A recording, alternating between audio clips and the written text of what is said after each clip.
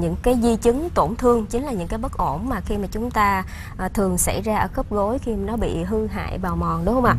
Vậy thì khớp khi mà chúng ta nhận thấy là khớp gối bị bệnh bị tổn thương hư hại bào mòn thì à, à người bệnh sẽ phải à, gặp phải những cái triệu chứng như thế nào? Bác sĩ có thể à, chia sẻ Thường những cái tổn thương khớp gối nó diễn tiến từ nhẹ đến nặng.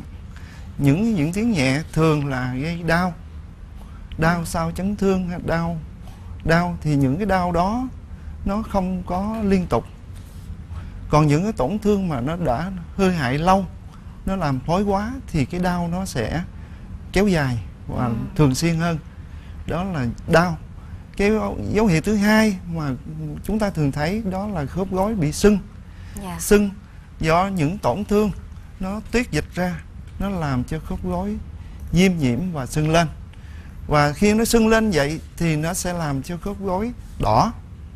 Và khi nó đỏ như vậy thì nó sẽ làm hạn chế hoạt động của khớp gối, của khớp gối. Thì như vậy, mức độ nhẹ thì nó sẽ đau và hạn chế.